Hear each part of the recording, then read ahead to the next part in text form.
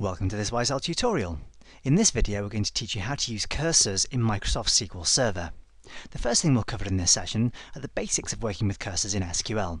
We'll explain what cursors are, show you the basic syntax for declaring a cursor, talk to you about opening and closing cursors, and show you how you can simply move through a set of records with your cursor.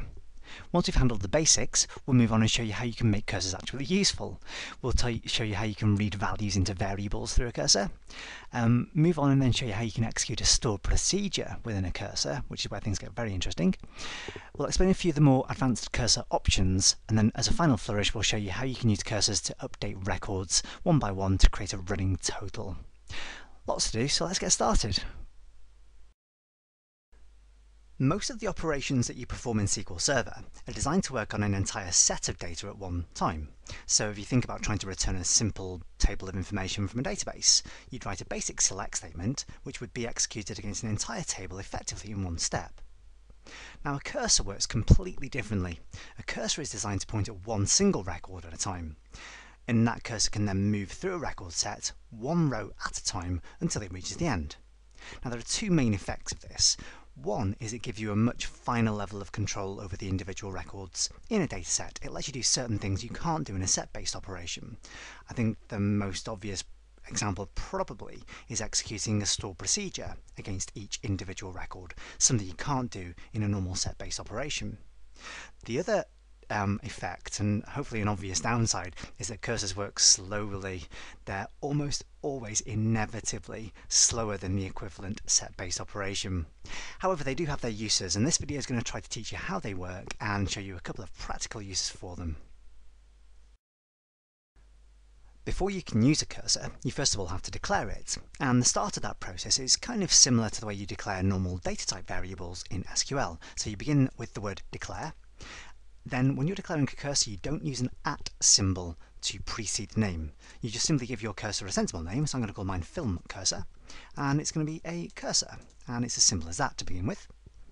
The next part is to say what set of records that cursor is going to be used with.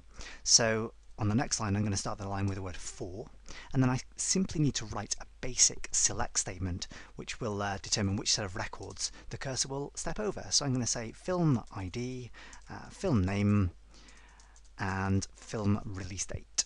And I'm going to make sure that that's selected from my table of films.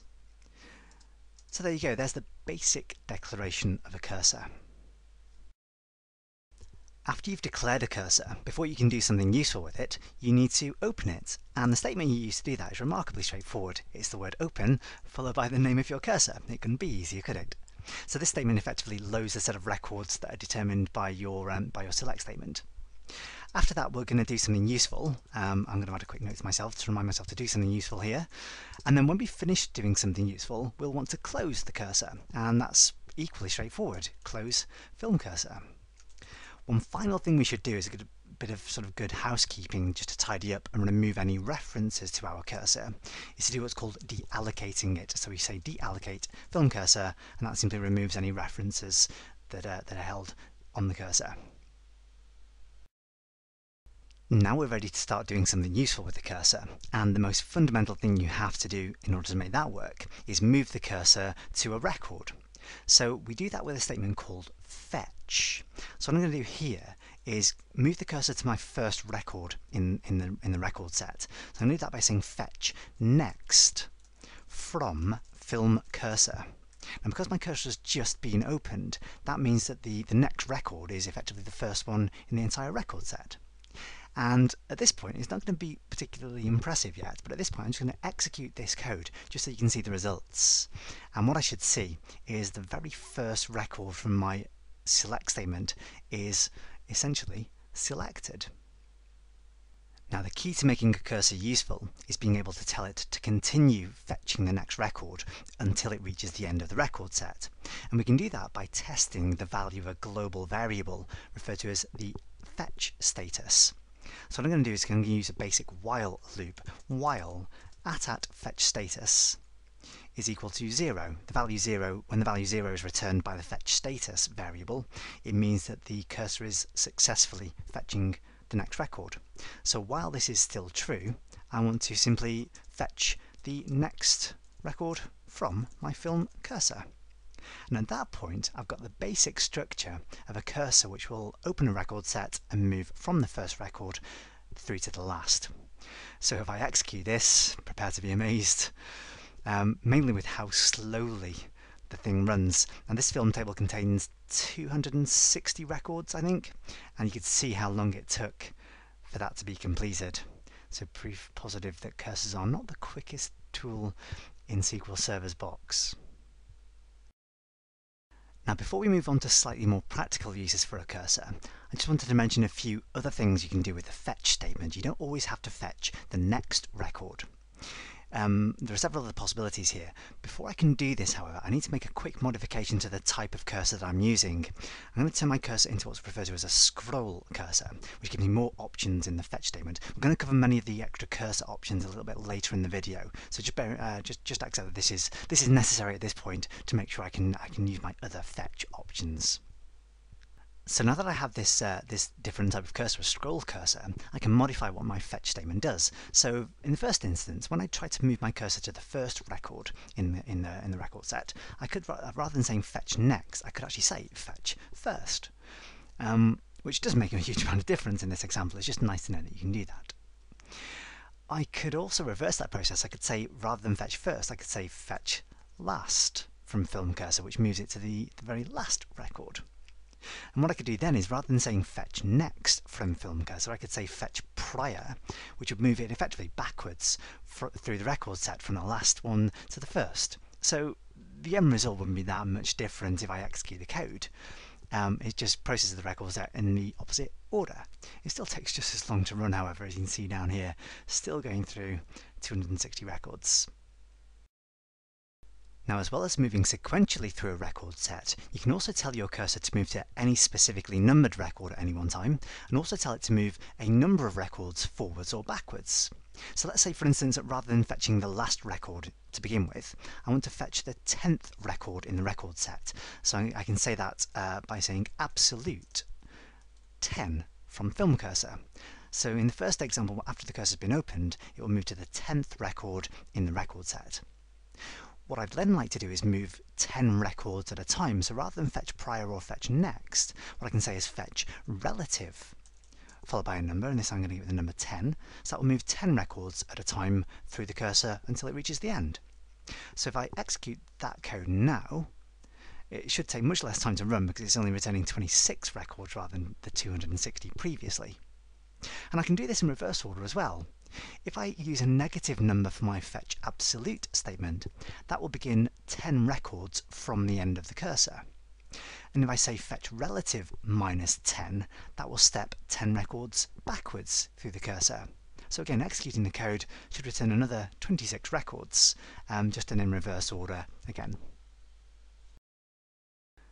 The next step in making our cursor slightly more practically useful is to change it from spitting out its output one record at a time, into reading the values of the outputs into variables instead.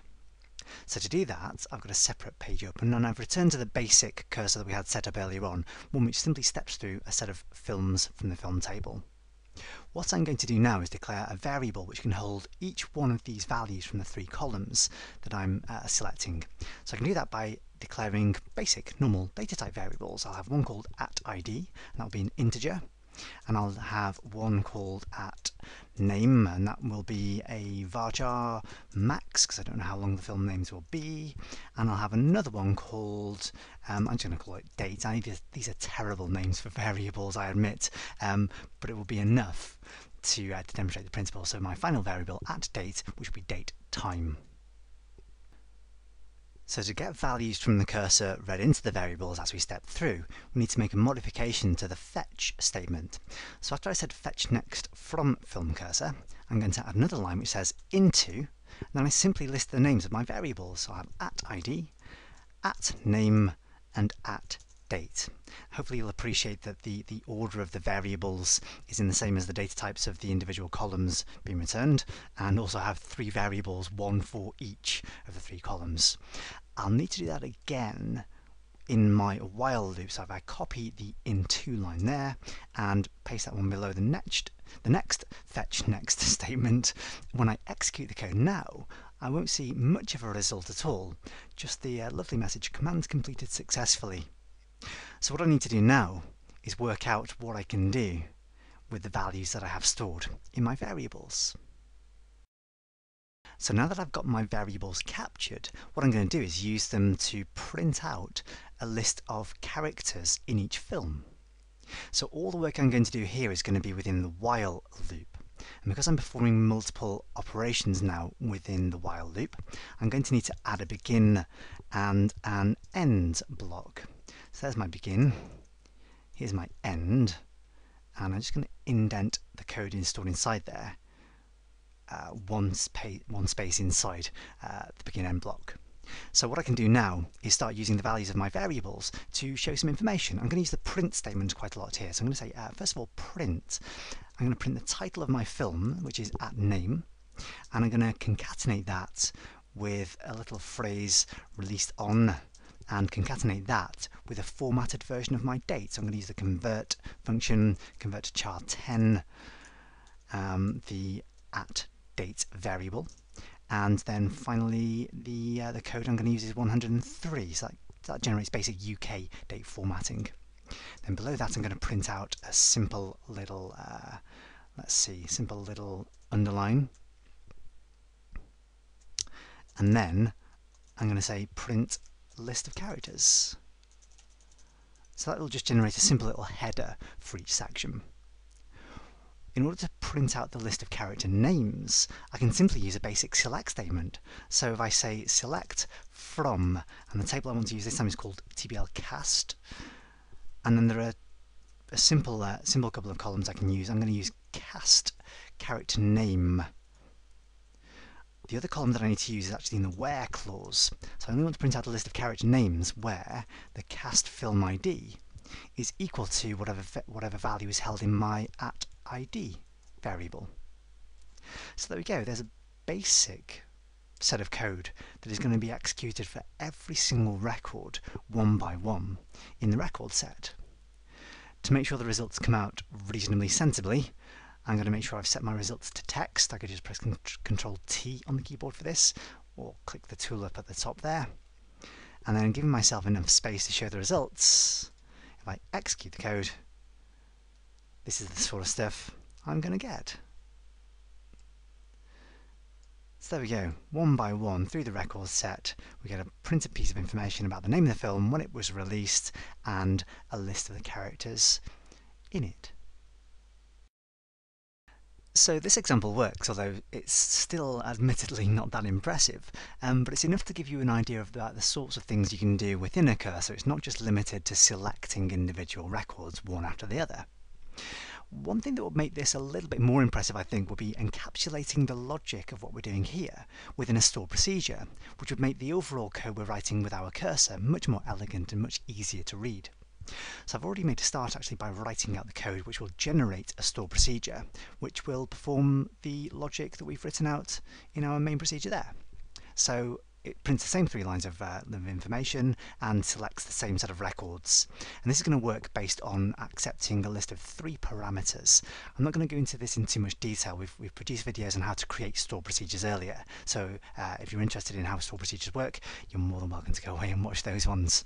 What I'll do first I'll, is I'll execute this code to create my procedure. There we go. Lovely commands complete, completed successfully. And what I need to do now is call this store procedure sp list characters from within my main um, loop. So if I go back to this code, I'll remove all of my previous logic and simply replace that with a line which says execute my store procedure and I need to pass in the three values. So I need to pass in the values stored in my variables at name, sorry, at ID, at name and at date.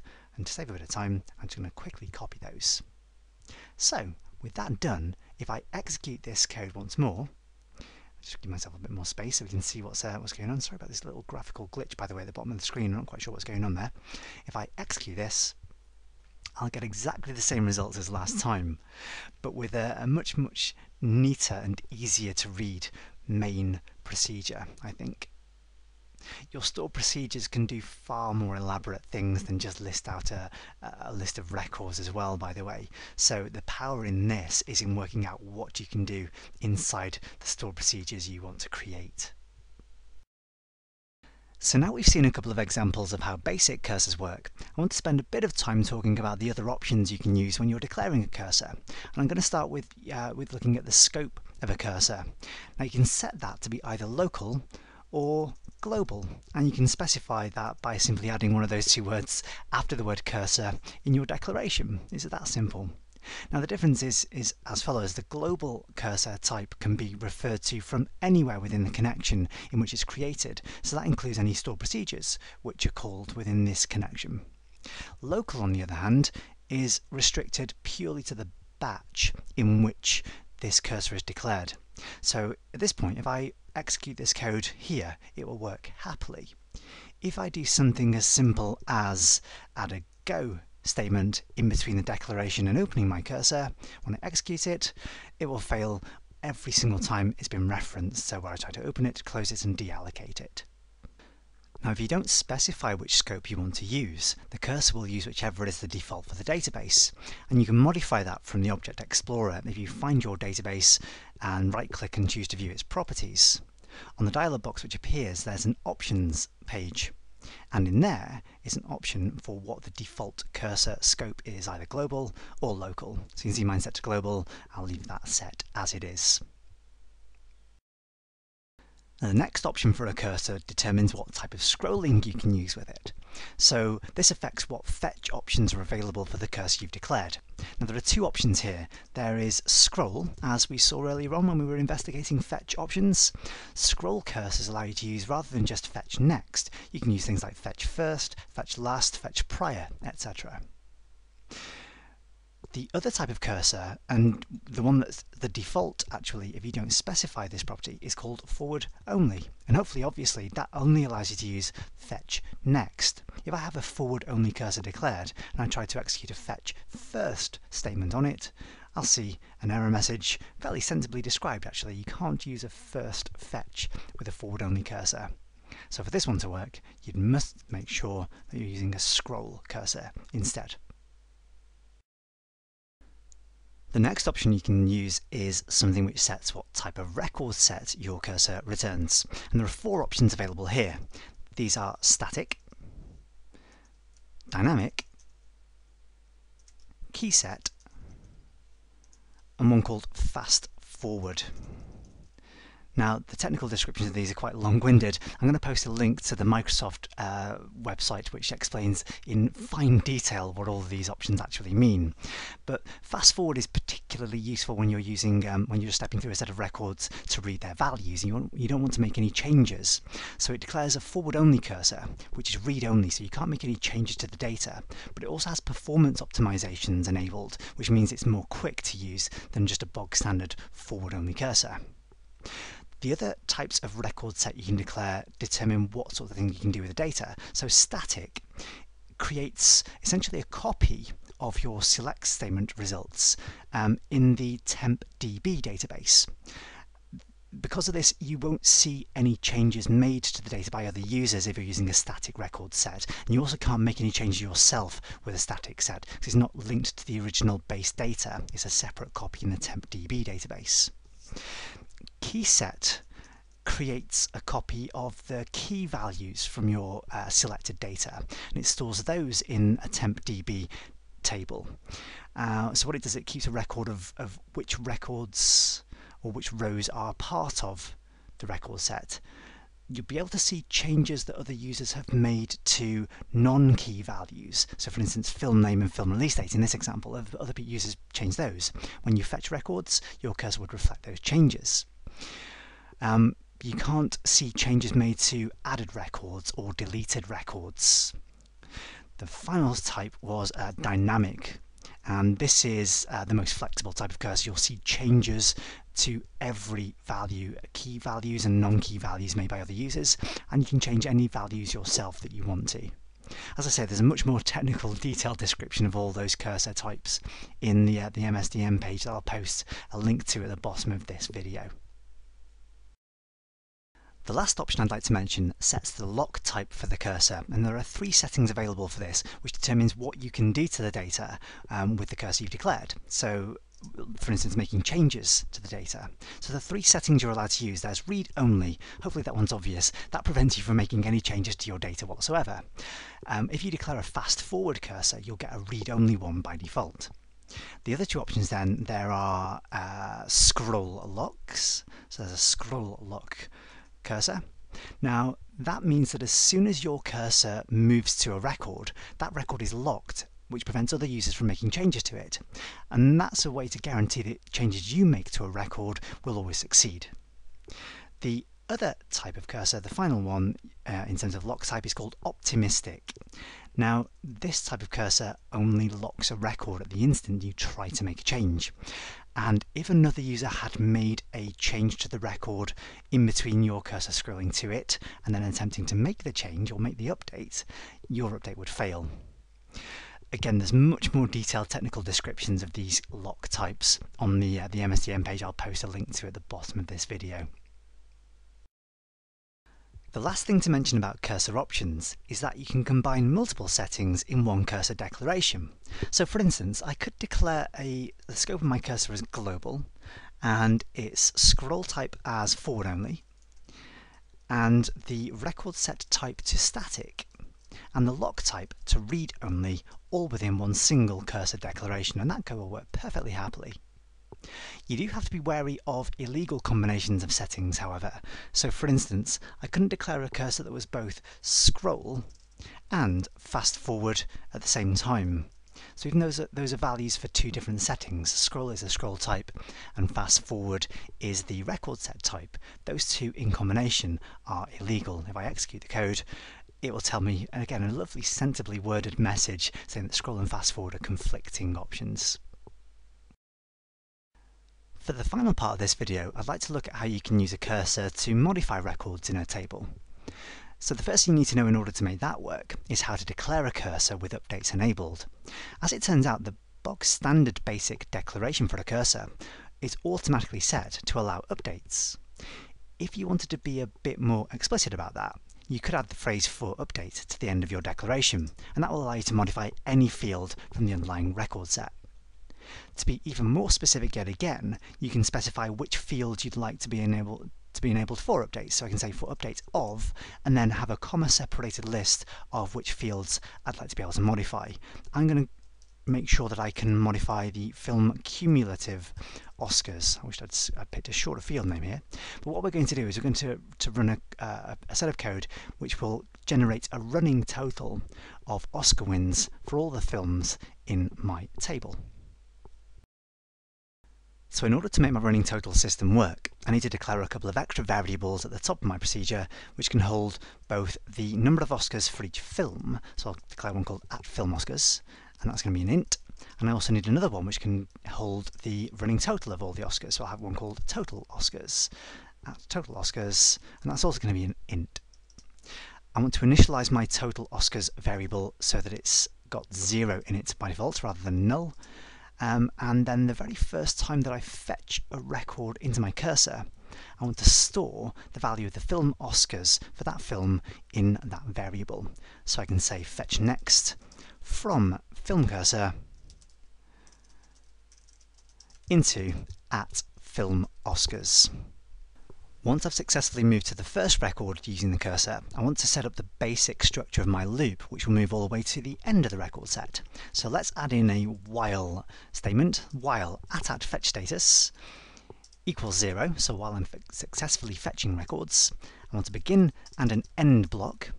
And what I'm going to do to make sure I move to the next record each time, I'm going to make a simple copy of this fetch statement.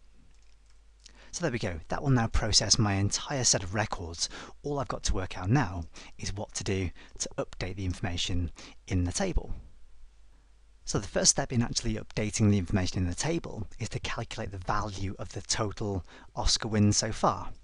So I can do that with a symbol statement which says set at total Oscars plus equals at film Oscars. So that will simply add the value of the current film's Oscar wins onto whatever total is currently held in total Oscars. For the first film, that will add the value of the Oscar wins to a value of 0. As a quick little test at this point, I'd like to print the value of that total Oscars. So I want to see if my, uh, my Oscars are increasing as I go through the record set.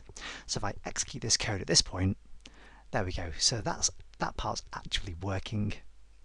The next step is to get that list of values from a simple printed message actually to be inserted into the table. So to place the value of the total Oscars variable in the table itself, I'm going to replace my print statement with an update statement. I'm going to say update TBL film. The next thing I need to do is say which field to change and what value to change it to. And I do that with a set statement. So I say set film cumulative Oscars equals at total Oscars. The final part of this update statement is vitally important to get right. As it stands, if I left my code as is, every record that I, my cursor moves to, it would update all of the film's cumulative Oscars to the current value stored in that variable. So it would simply get overwritten every single time. What I want to do is just modify each individual record. So I'm going to add a where clause. There's a very specific where clause this time. It's going to say where current of film cursor. So what that makes sure is that the only record that is modified is the same record that my cursor is currently pointing to. So, fingers crossed, if I execute this entire set of code now, I should hopefully see many single rows affected, so that tells me that individual rows have been changed. So if I do a very, very quick test, what I should be able to see if I had a basic select statement, let's say select star from TBL film, if I execute that basic select statement, I ought to end up with a value in my film cumulative Oscars column, and there it is. So there you go, there's one use for cursors. It's not impossible to do this using set-based operations, but it's certainly, I think, a lot easier to, uh, to make sense of when you're using a cursor. If you've enjoyed this training video, you can find many more online training resources at www.wiseowl.co.uk.